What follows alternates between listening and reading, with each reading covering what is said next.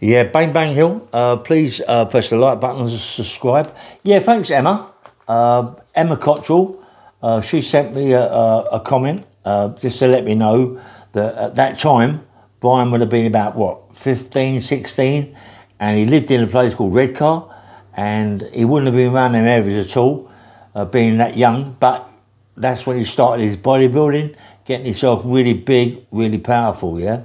Uh, this little firm that she's talking about, she said, yeah, they're all rockabillys, uh, you know, and used to go around the pubs around uh, around uh, Stockton on Tees. they're called the Wrecking. Uh, the, is it, it was it called the Wrecking Crew? That's it.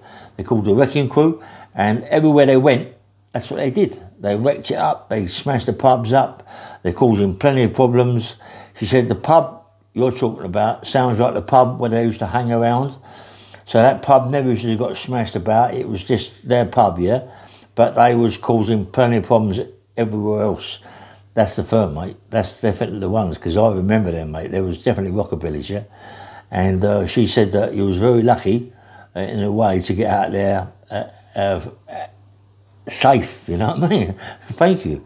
But anyway, I think I bashed the uh, the two bullies uh, two of the main bullies up. Yeah, she, said, she said that uh, they come as a firm. They were a firm when in there. There were 10, there were 20 handed.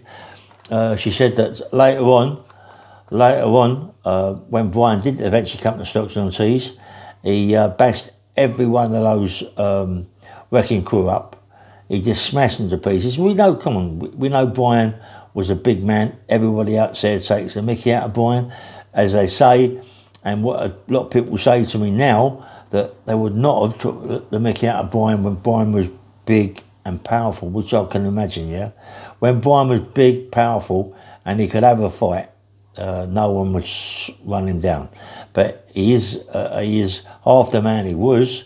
He's still got that heart, though. He's still got the heart, but sometimes the heart is bigger than yourself in it. You know what I mean, as such, yeah.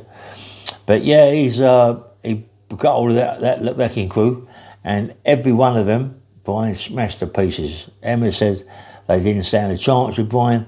He just knocked them out and just wrecked, ruined them, really. He said then he become the number one in Stockton on Tees, which I will believe that is where I got it from. Anyway, this is Bang Bang Ray Hill. Uh, please press the like button and subscribe, and have a nice day. Yeah, bye bye.